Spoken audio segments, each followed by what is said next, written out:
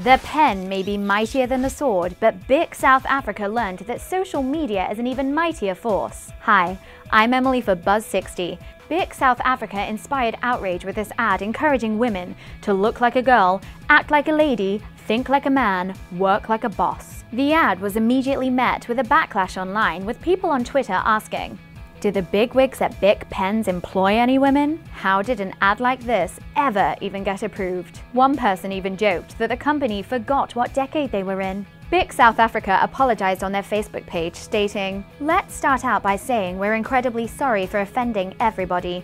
That was never our intention, but we completely understand where we've gone wrong.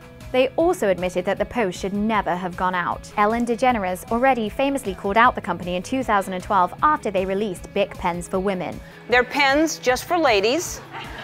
And while the Think Like a Man ad has been pulled, BIC South Africa is still advertising for a line of pens aimed at women called Miss BIC.